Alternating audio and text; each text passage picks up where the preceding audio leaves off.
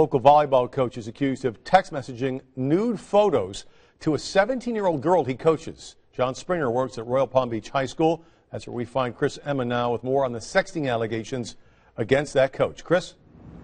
That's right, Todd. John Springer, who you just saw, he is a 27 year old teacher and also a volleyball coach who was just hired this summer at Royal Palm Beach High School to coach the girls' team. Well, he has found himself in some very serious trouble with the law after taking his attraction to a 17 year old girl way too far.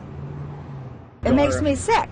If, if, I, if she was the victim, I would be sick. To, I would be sick. Outraged parents picked up their kids from Royal Palm Beach High School after learning that this man, John Springer, a 27 year old math teacher and girls volleyball coach at the school, was arrested for allegedly sending nude photos of himself to a 17 year old student who was also one of his players. According to police, Springer, who was hired back in August, told the girl in August that he was attracted to her. But in October is when police say the text messages and conversations from Springer escalated. Why they're even texting to begin with is another issue. Police say he told her how good she looked in her volleyball uniform, that he wanted to perform sexual acts on her, and then he sent naked photos of himself via text message to her. He then asked for nude photos back from her and got them.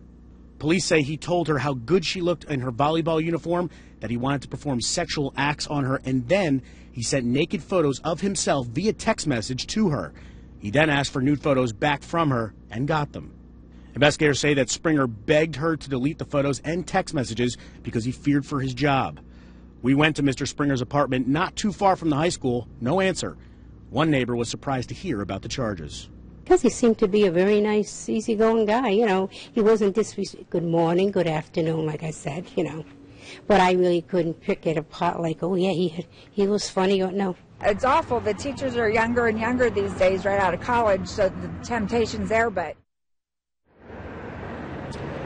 And I spoke with the Palm Beach County uh, School District, and they have confirmed that Mr. Springer has been terminated.